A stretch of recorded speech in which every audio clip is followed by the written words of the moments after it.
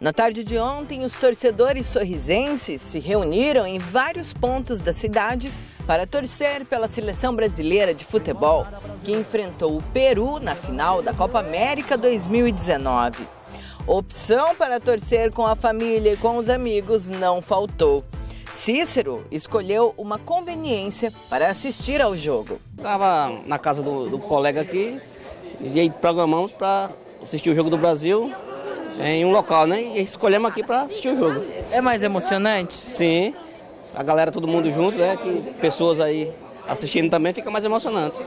Tô vendo que você tá com a camiseta do Brasil aí, é para dar sorte? Sim, acho que sim. Comprei ela na, na, na Copa, não deu sorte, mas quem sabe agora não vai dar sorte, né? Foram seis anos sem uma taça. Mas nada como se sentir em casa, vontade e ser o protagonista da própria festa. No mesmo Maracanã, que viu o título da Copa das Confederações em 2013, a seleção brasileira sagrou-se campeã da Copa América 2019 ao vencer o Peru por 3 a 1. Olhando apenas para o torneio continental, o Brasil voltou a ser campeão após 12 anos, algo que não ocorria desde 2007. O grito da torcida de o campeão voltou, que estava guardado, veio à tona e fez total sentido.